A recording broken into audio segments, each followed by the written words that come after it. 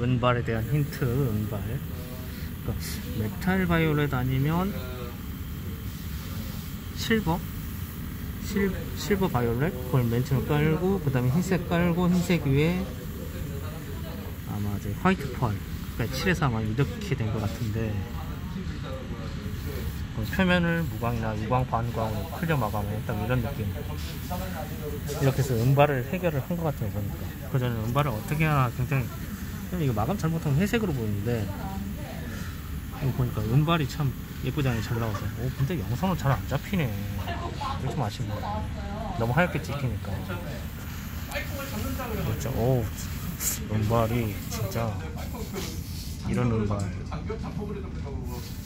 와 이거 너무 하얗게 찍혀 이렇게 하면 또 찍혀 이게 좀 답답한데